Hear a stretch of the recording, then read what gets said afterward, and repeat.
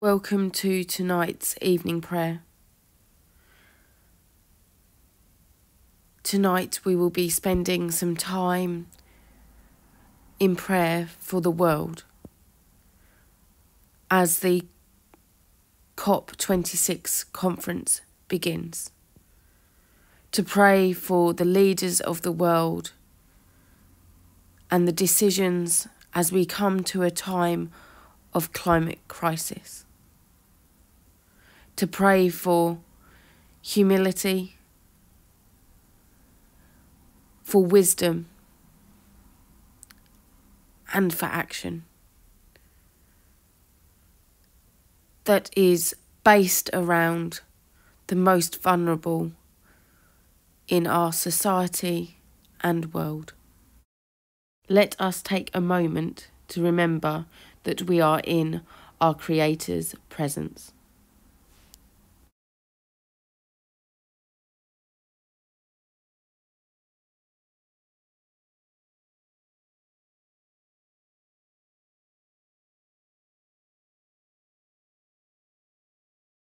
O God, make speed to save us.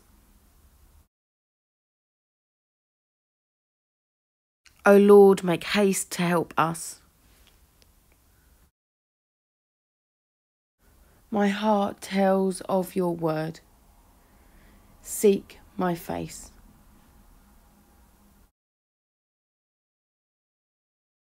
Your face, Lord, will I seek. The land cries out to you, O Lord. The land mourns, and all who dwell on it languish. The land cries out to you, O Lord.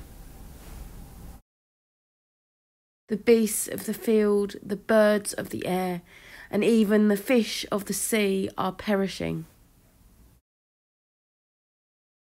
The land cries out to you, O Lord. For the earth is scorched with fire, the air polluted, and the waters choked with waste. The land cries out to you, O Lord. The ice melt and the sea rage. The waters surge and the floods devastate the land. The land cries out to you, O Lord. The water springs are silent and the streams run dry. The green places are a dry land where there is no water. The land cries out to you, O Lord. The fertile ground is exhausted. The land has become a parched and wind-swept wasteland. The land cries out to you, O Lord. The holy cities have become a wilderness. Zion has become a desolation. The land cries out to you, O Lord. So turn us again, O Lord, and come to our help.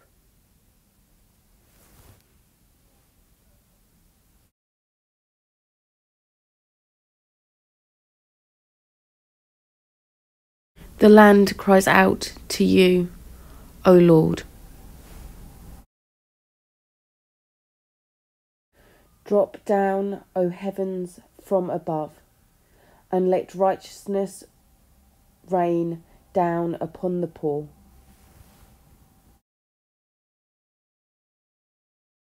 The land cries out to you, O Lord. Let the earth open and let the wholeness and healing spring forth. The land cries out to you, O Lord.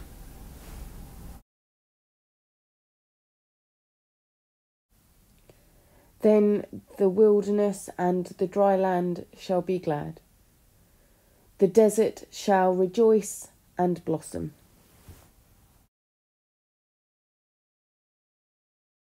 The land cries out to you, O Lord. The mountains and the hills shall break forth into singing, and the trees of the forest shall clap their hands.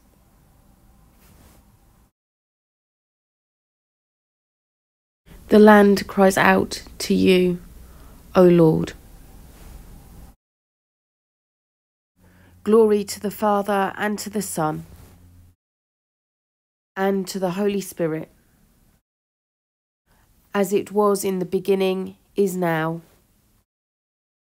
and shall be for ever. Amen. The land cries out to you, O Lord.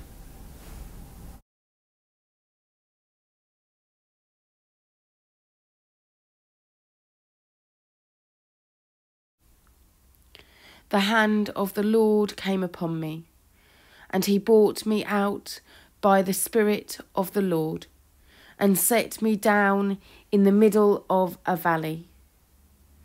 It was full of bones. He led me all around them. There were very many lying in the valley, and they were very dry. He said to me, Mortal, can these bones live?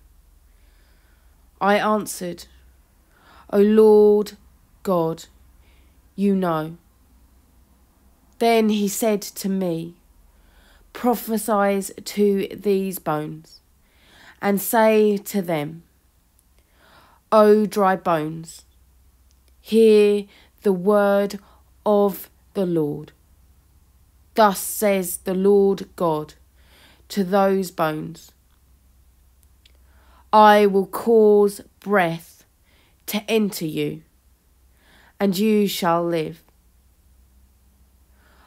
I will lay sinews on you, and will cause flesh to come upon you, and cover you with skin,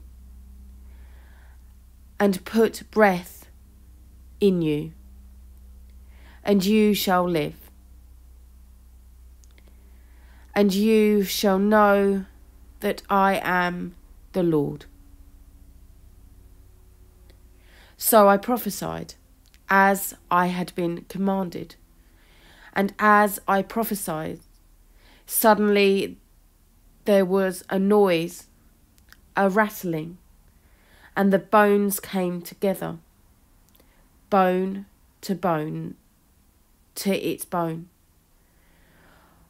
I looked, and there were sinews on them, and flesh had come upon them, and skin had covered them, but there was no breath in them.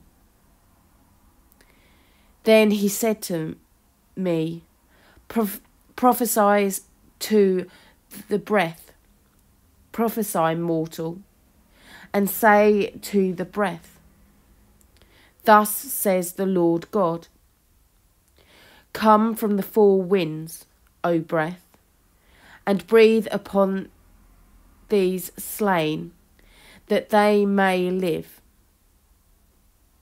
I prophesied as he had commanded me, and the breath came into them, and they lived, and stood on their feet a vast multitude. Then he said to me, Mortal, these bones are the whole house of Israel. They say, Our bones are dried up, and our hope is lost. We are cut off completely. Therefore prophesy and say to them, Thus says the Lord God I am going to open your graves and bring you up from your graves. O my people, and I will bring you back to the land of Israel. And you shall know that I am the Lord when I open your graves and bring you up from your graves. O my people, I will put my spirit within you, and you shall live, and I will place you on your own soil. Then you shall know that I, the Lord, have spoken and will act, says the Lord.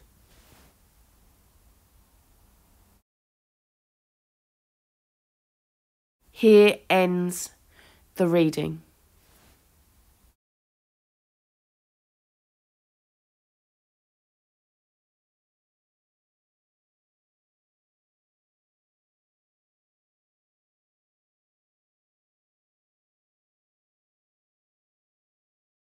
Let us pray to God, who is Creator, Redeemer, and Sustainer. Loving God, we praise your name with all you have created. You are present in the whole universe and in the smallest of creatures. We acknowledge the responsibility you have placed upon us as stewards of your creation. May the Holy Spirit inspire all political leaders at, at COP26 as they seek to embrace the changes needed to foster a more sustainable society.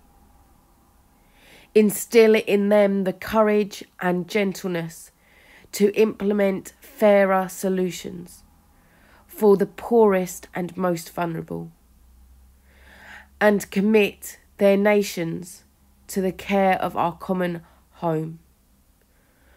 Lord, in your mercy, hear our prayer.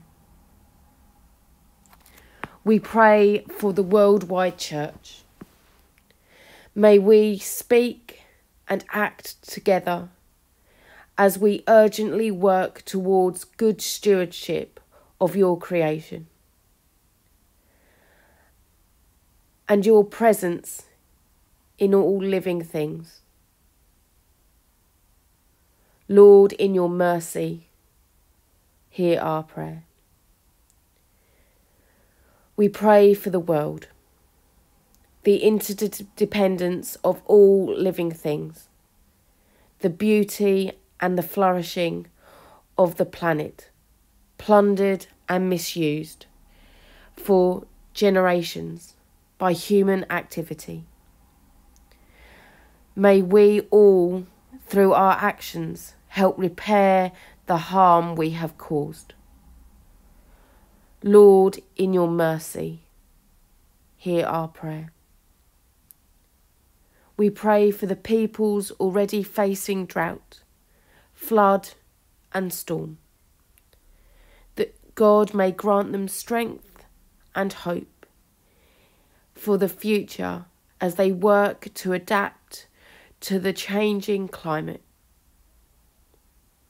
Lord, in your mercy, hear our prayer.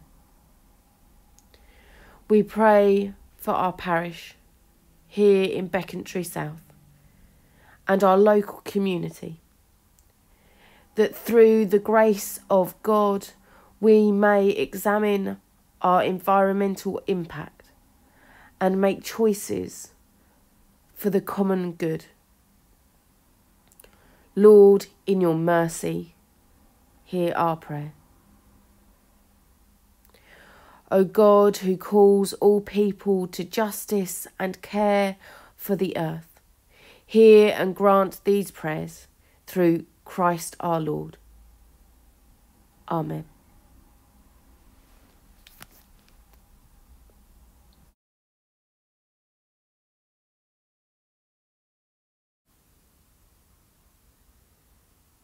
Eternal Lord, our beginning and our end, bring us with the whole of creation to your glory.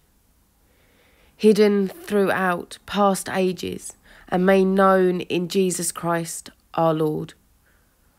Amen. Let us unite all our prayers said and unsaid in the words that Jesus taught us, saying,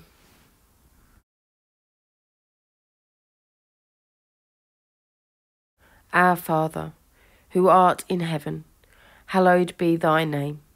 Thy kingdom come, thy will be done, on earth as it is in heaven. Give us this day our daily bread, and forgive us our trespasses, as we forgive those who trespass against us. And lead us not into temptation, but deliver us from evil. For thine is the kingdom, the power, and the glory, for ever and ever. Amen. May God, who made heaven and earth, bless us and keep us.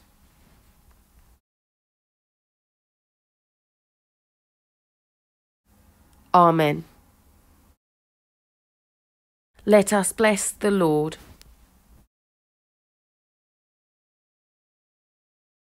Thanks be to God.